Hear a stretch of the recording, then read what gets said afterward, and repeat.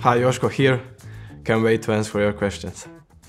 If you didn't know, now you know that uh, we have every week we have uh, Croatian lessons together. You know, so yeah, that means like how are you, uh, how are you, brother? Feeling good and uh, looking forward to the to the next game, Champions League game. Yeah, training day uh, because this is my second family and really like to be here, surrounded by all these great guys. Yeah.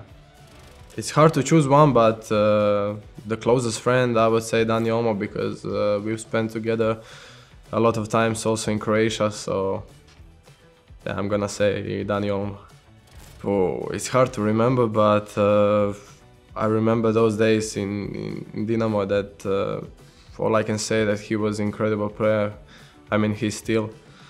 And uh, yeah, it was really pleasure to play with him, and now second opportunity to to win something together. And uh, the best thing about Dani Olmo is that um, uh, he's, uh, as, as we know, the, the, the great player on the pitch and also um a great friend uh, of the pitch. Yeah.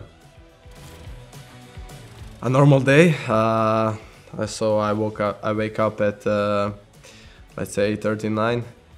Uh, let's say that we have um, uh, training in the in the morning, so we go there. We we have a breakfast, uh, meetings all together, and then uh, training.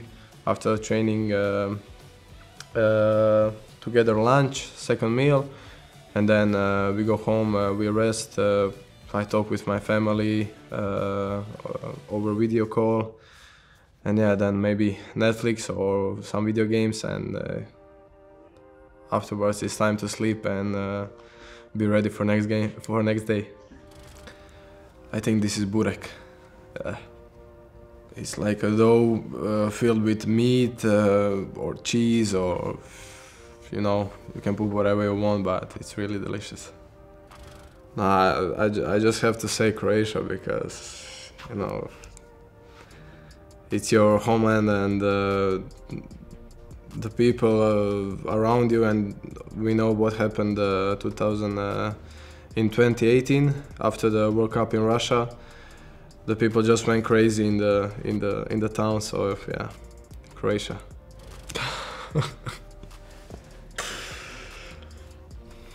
Ah, another another one in my life yeah. Phew, I don't know what to say here uh,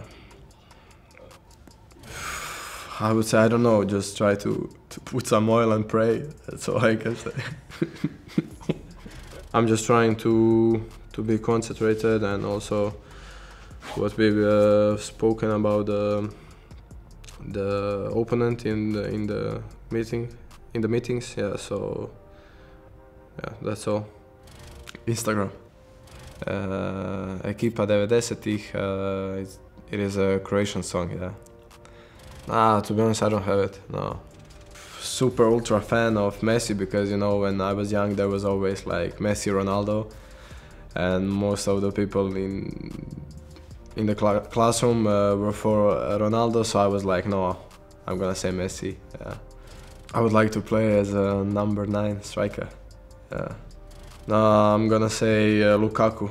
Uh, was my first game uh, against uh, Belgium, and um yeah, I mean, I was, I went in, uh, and I was really afraid, and especially when when you see this big guy there, uh, yeah, Lukaku for sure.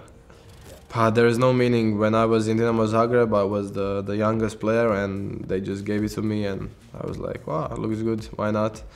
And then uh, I signed for RB Leipzig, and I said like, I'm just gonna keep this number here if it's possible, and then yeah, 32. Yeah. I don't know. I mean, I would like to buy my friend uh, Kristijan Jakić from Frankfurt. Yeah, I mean, to spend some some days here to to laugh, to I don't know, just to, to win as as more as possible here in Leipzig. Yeah. Ah, K- Klosti in the team. Yeah. Klosti so far. Uh, Speedy Gonzalez. Uh, let's say Szoboszlai. The first one is Cottaweg Sieben, and the other one is Red Bull Arena. Uh, my favorite is um, the red one, watermelon. Why not?